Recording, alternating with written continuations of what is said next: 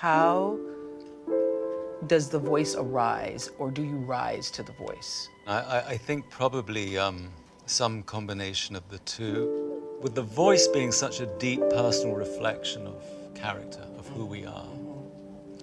And that voice may be quite a surprising reflection of who we seem to be uh, in some cases, but it is undoubtedly, it's, it's, it's kind of a fingerprint of the soul, I think. Yes. Ooh, ooh. Um, what I hope for at a certain, uh, at a certain moment, if the work is going the way you hope it, it'll go, I begin to hear a voice. Um, not in the supernatural sense, but uh, like uh, just as we have an inner eye, we have an inner, inner ear as well. And I Yes. begin to, I begin to hear a voice, and then if that voice pleases me, I then have the problem of trying to reproduce it.